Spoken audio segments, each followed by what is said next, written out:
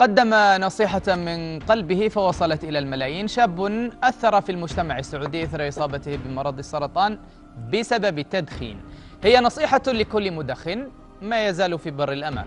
فشاهدوا.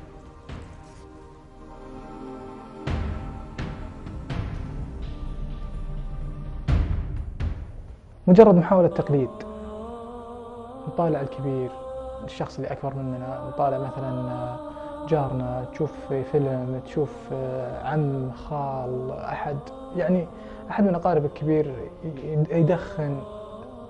يتخيل لك أنه فيه شعور. فأنت تحاول تجرب هذا الشعور. ف كلمة يعني لكل المدخنين. انتبه.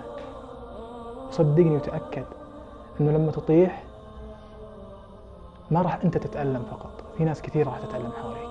فلا تعتقد أنه إذا أنت دخنت أنك أنت راح تأذي نفسك فقط. أنت راح تأذي نفسك وراح تأذي اللي حواليك. وبشكل أنت ما تتصوره. نومك يختلف مزاجك يختلف. آه، جلستك مع الناس وأخذك وكلامك وأسلوبك وتعاملك مع العالم كلها تختلف كلها بسبب التدخين. وفي الأخير أذاني أنا شباب وكنت آكل بصل وثوم وجرجير وأحاول أني أكون رياضي قد ما أقدر وأمشي وأتحرك و و و و وفي الآخر وقعت. فلا تعتقد ابدا ابدا أنه أنت لما تدخن بتقدر تفك نفسك من الآثار الجانبية حقت الدخان إلا بطريقة واحدة إنك تترك الدخان.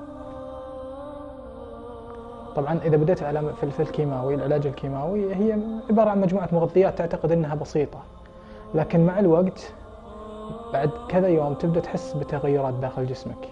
عسر في الهضم أحيانا سرعة في ضربات القلب. يعني لو مثلا تمشي مسافة عشر خطوات وترجع تحس كأنك رحت جري عشرة كيلو ورجعت. آه، التنفس عندك يتغير. آه، صداع ألم في الأسنان ألم في العظام ألم في المفاصل ألم في العضلات. آه، تصير أحيانا يعني أي ضغطة على جسمك تأثر عليك بشكل مو طبيعي. ألم في الظهر النوم يختلف عندك ويصير كثير. نفسيا من جوا أنت ما أنت مرتاح. يعني تحس بتقلبات ما تدري وش اللي فيك.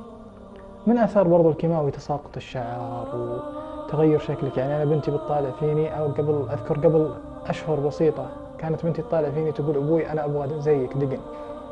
فكنت أقول لها إن شاء الله يطلع لك دقن. الحين تسألني تقول بابا وين دقنك؟ إذا كانت السيجارة هذه فيها من الأسفلت فيها مادة التار وتدخنها أنت أنت أكثر صلابة من الأسفلت؟ ما تتوقع في يوم من الأيام أبدا أنه بيضرك؟ أنا أتحدى لما يكون الأسفلت رطب لسه جديد أتحدى أحد يجي يشم البخار اللي طالع من الأسفلت. ما تقدر تشمه لا من حرارة ولا من الأذية اللي راح تلاقيها في الرئة بسبب الدخان هذا اللي طالع. فكيف أنت تروح تدخن؟ وبكل أمانة لما جاني الخبر أكثر ما فكرت فيه عيالي. هم أكثر من فكرت فيه أكثر من شلت همه. والله العظيم ما نزلت دمعتي إلا يوم فكرت في عيالي. إذا شفت مدخن أتحسر عليه. لأنه هو قاعد يستمتع وفي نفس الوقت في شيء مخبى له ما يدري وش هو الشيء المخبى هذا أنا شفته الآن. أكذب عليك إذا كنت أقول لك إني ما أستمتع. لكن نسمع الناس تقول تراه متعة زائفة. تراه ما أدري إيش. الكلام اللي أنا أقوله الحين هذا كنت أسمع من قبل وكنت أضحك داخليا.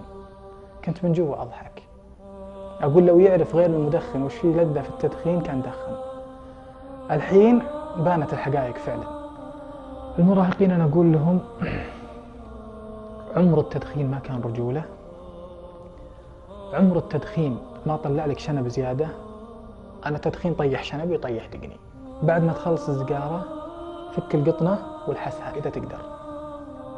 فك القطنة حقت السيجارة والحسها إذا تقدر. إذا تقدر. اللي في القطنة ترى كله دخل داخلك. اللي في القطنة كله دخل داخلك. فهل أنت متقبل أو لا؟ وترى السيجارة هذه من ثمك طلعت أنت يا مدخن.